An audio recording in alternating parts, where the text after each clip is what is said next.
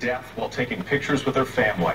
ABC's Zohreen Shah with new video tonight after other hikers watched it happen. Tonight, screams of horror at the Grand Canyon. Moments after a 59-year-old Arizona woman plunges to her death, park rangers finding Maria Salgado Lopez's body 100 feet below the rim west of Mather Point.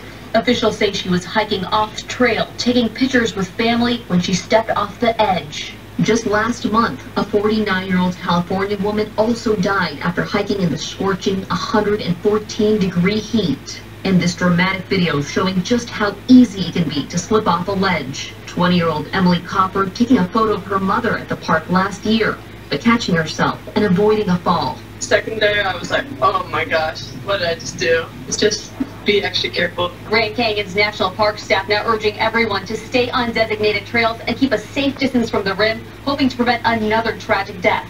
Wait. That is good advice.